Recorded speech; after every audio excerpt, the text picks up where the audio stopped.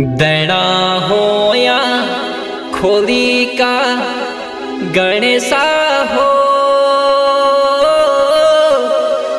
ਦੈਣਾ ਹੋਇਆ ਜੈ ਬਾਬਾ ਕੇਦਾਰ ਹੋ। ਦੈਣਾ ਹੋਇਆ ਪੰਚਨਾਮ ਦੇਵਾ ਹੋ। ਦੈਣਾ जय बाबा द्योताल हो।